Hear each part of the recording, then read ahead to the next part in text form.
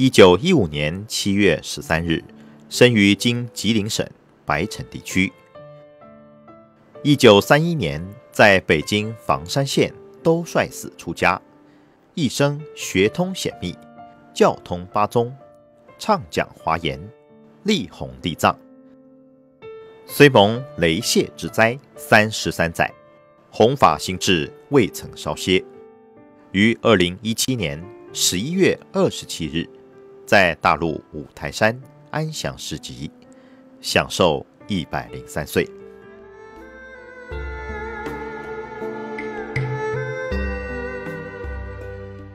感恩梦参老和尚一生演说大乘，少龙佛种，缅怀风范，祈愿老和尚早日乘愿再来，慈悯度众，利乐有情。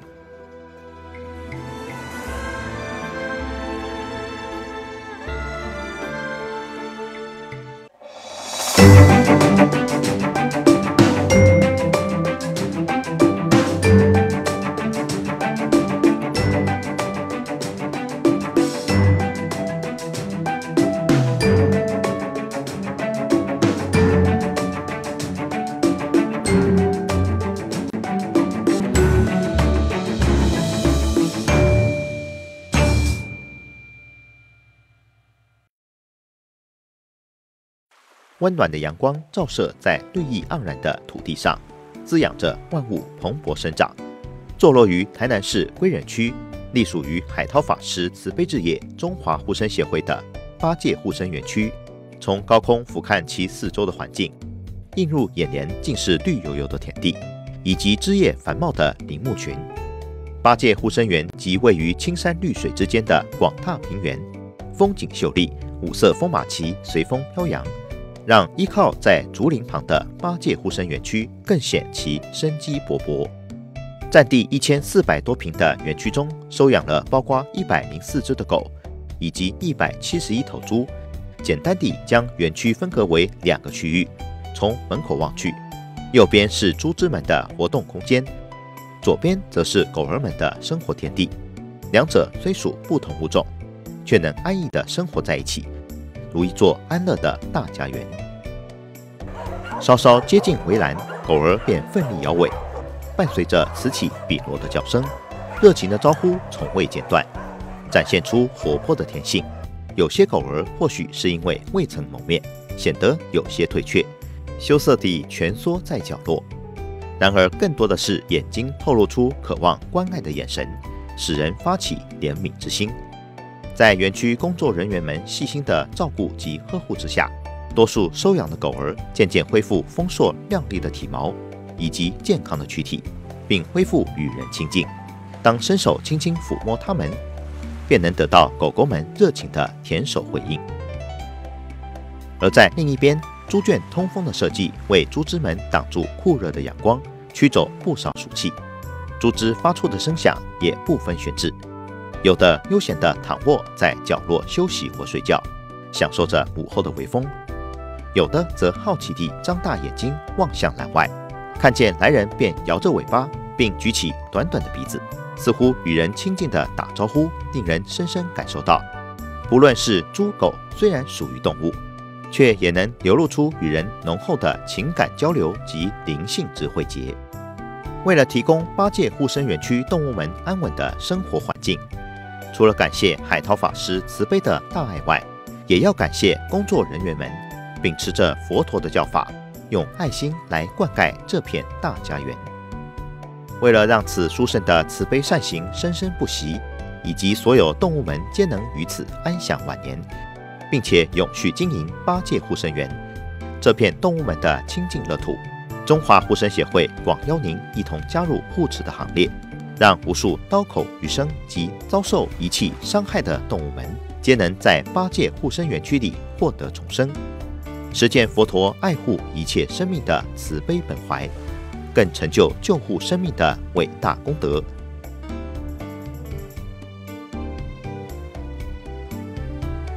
护持华博账号：四二一三八四八三，四二一三八四八三，户名：中华护生协会。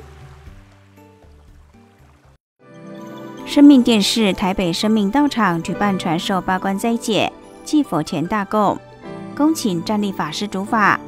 日期二月二十八号星期五上午八点半，下午恭送孔雀明王经护生暨甘露施食。地点台北生命道场，地址台北市民生西路三百号二楼。联络电话零二二五五零九九零零零二。二五五零九九零零，法会备有免费消灾超电牌位，供大众填写。新逢释迦牟尼佛出家纪念日，生命电视台南道场举办传授八关斋戒、礼拜慈悲三昧水忏、护生点灯、供水、药供及甘露施食法会，恭请占德法师主法。日期三月一号星期日。上午八点半，地点台南道场，地址台南市中西区府联路一百零六号一楼，联络电话零六二一三一一一二零六二一三一一一二，敬邀十方大德参与法会，庄严道场，排位超荐一律免费。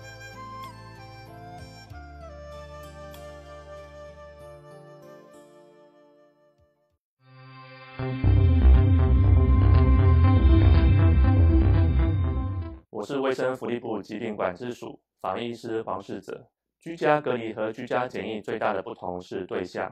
居家隔离是针对与确诊个案有接触的民众，居家检疫则是针对有中港澳旅游史或是韩国旅游史的民众。虽然对象不同，但是要做的事是一样的：一，一定要留在家里或住宿地点，不能外出，绝对不可以搭乘大众运输工具；二，每天记录体温和身体的状况；三。自己和家人都要勤洗手，不要触摸眼、口、鼻。四，最好有独立的房间，与家人避免一公尺以内的接触，避免同桌吃饭或如拥抱、亲吻或性行为等亲密的接触。如果不得已要共用家具或是卫浴设备，请每日以漂白水消毒三次。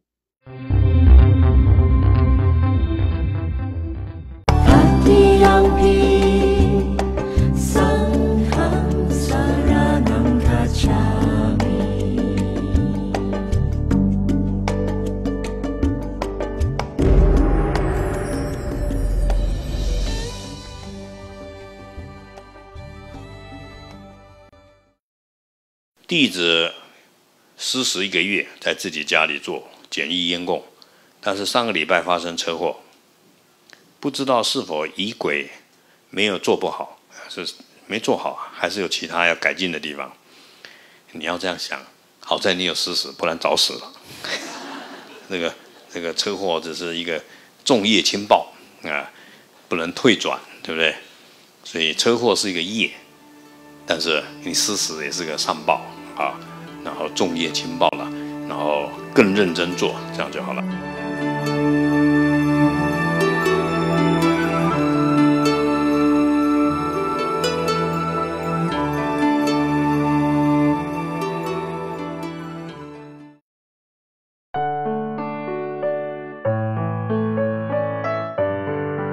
护生功德殊胜行，无边圣福皆回向。普愿成利诸众生，速往无量光佛刹。十方三世一切佛，一切菩萨摩诃萨，摩诃般若波罗蜜。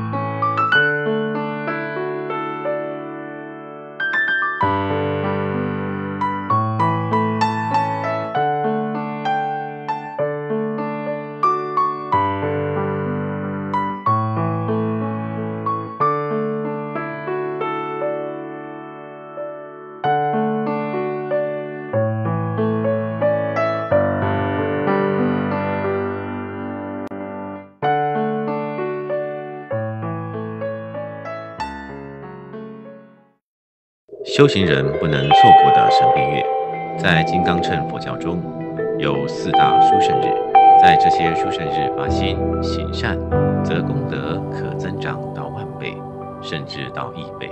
从藏历元月一日开始算起的一个月，即为神变月。请吃素、护身、持咒、念佛、点灯、施食、施药。进账集资，恒时吉祥，回向世界风雨顺时，无有灾难，众生无病无苦，消灾增福，发菩提心，福慧圆满。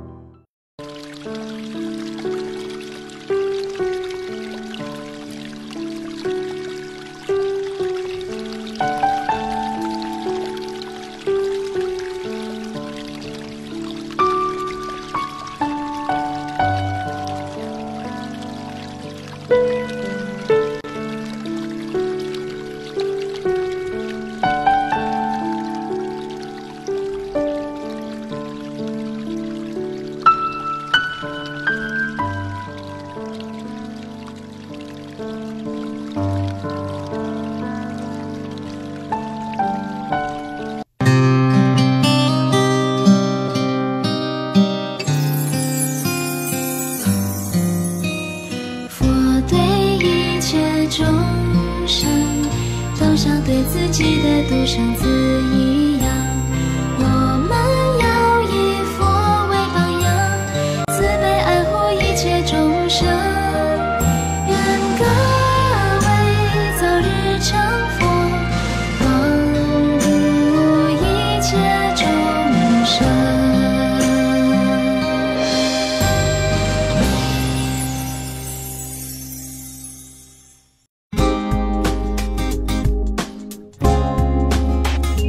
接下来，请收看海涛法师弘法讲座。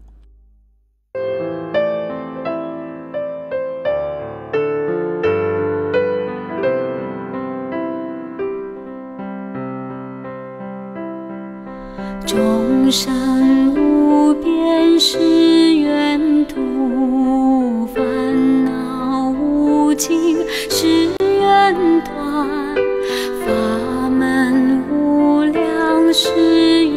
学，佛道无上誓愿成。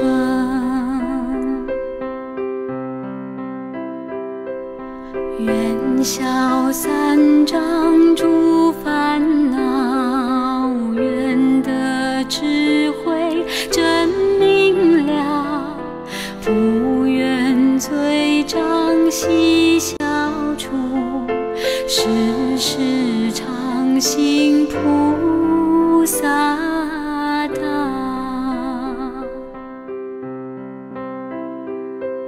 时时常行菩。